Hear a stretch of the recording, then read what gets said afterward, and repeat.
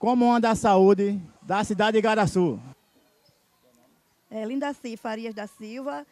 Aqui sou bem atendida. Chego aqui, procuro as meninas, de saúde. Né? Quando mesmo não tem atendimento no, meu, no mesmo dia, mas ela no outro dia vem, a tá hora, como eu vim hoje, para minha mãe. E sou bem atendida, aqui eu gosto muito. Né? Não tenho o que reclamar, não tenho o que dizer. Tá bem? E tudo de bom aqui para a menina, assim. Eu agradeço muito a Deus por ela atender a gente muito bem. Eu mesmo não tenho o que reclamar. Sabia? E eu não tenho o que dizer, para mim está tudo bem, em nome de Jesus. Eu tenho muito que agradecer a meu Deus. Né? Eu procurei um socorro para minha mãe aqui, encontrei. Né? Um irmãozinho foi buscar minha mãe em casa.